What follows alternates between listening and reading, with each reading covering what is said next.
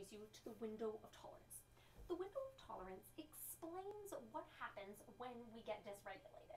And I'm going to explain all this in a second, but it's a really fascinating concept that really helps us understand why we might experience anxiety and depression if we've experienced trauma. I notice a lot that people seem to think these things are disconnected. They say, I have trauma and anxiety and depression, but they don't realize that it's all the same thing and that the good news is that healing one helps heal all of them. So let's talk about the window. We all have a range at which we can handle being aroused, and I don't mean in the sexual way, I just mean our bodies getting activated or kind of worked up before we step into a fight, flight, or freeze response. So we all have a different window how big our window is, how much arousal we can take before we start to get dysregulated, that's different for everybody. But let me give an arbitrary kind of amount. Let's say your window is like this. So if you stay within my dotted lines, you're okay. You're not going feel out of control. You're not going to feel a huge amount of panic or depression. You're going to feel okay. If you step out of this window of tolerance, what is going to happen is you are going to experience a trauma response because a trauma response is fight, flight, or freeze. So let's think of it this way. If a danger is coming towards me, my body is naturally going to do one of three things to keep me safe.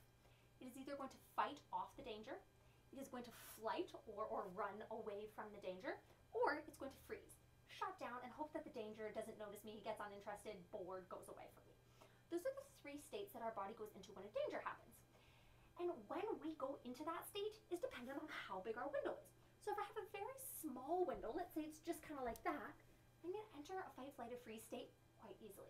If I have a larger window, it's going to take a little bit more of a danger to send me into fight, flight, or freeze.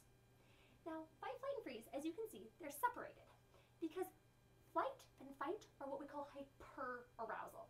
Our body gets more energy sent into it and gets ready to either run away or fight, right? We need lots of energy in our body to do that. So when we're doing that, when we're going into hyperarousal, what's happening is our breathing quickens so that we can, you know, run or fight better. Our heart starts pounding more. It's sending blood and oxygen throughout our whole body.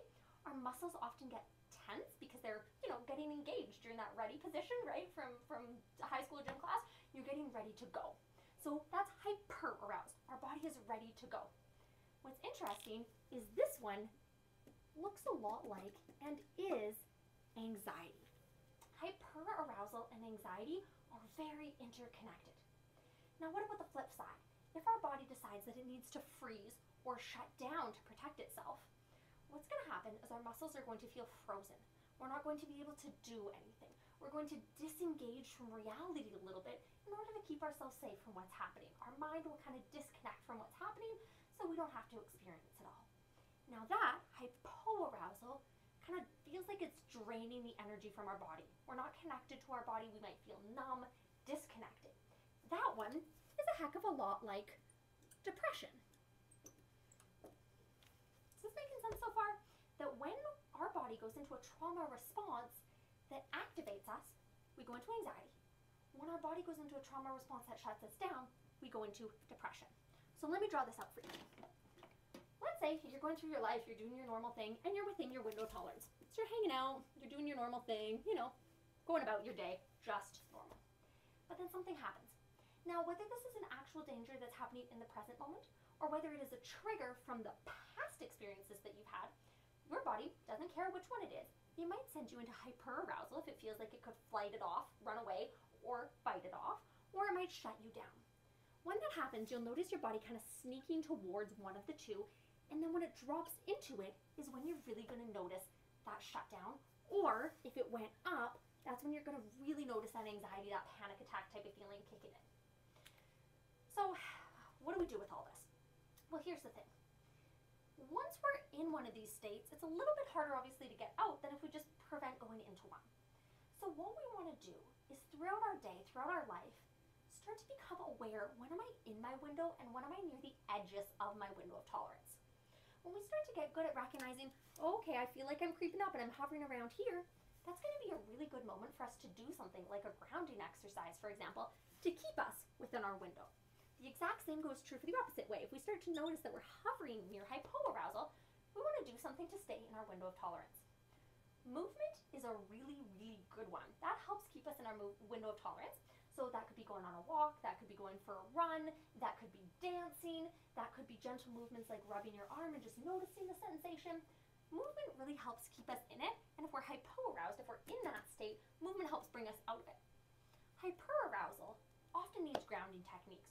So we feel so much all at once that we need to ground ourselves into the present moment. That can help prevent us from going out of our window or help bring us into it. So hopefully you like this little video here about window of tolerance helps you learn a little bit about maybe how anxiety, depression, and trauma are all connected. That when we go through trauma, our window can get a little bit smaller, which can make it more likely that we experience anxiety or depression. By focusing on learning to stay within our window of tolerance, the cool thing is that we can actually increase and open up our window so that over time we have more and more capacity. Now, of course, I'm a trauma counselor. I am going to say this that easiest, most efficient way to help increase that window of tolerance is to do trauma processing around the thing that maybe closed your window in the first place. Or maybe there's many things. The more trauma processing that we can do, the more that we're going to open back up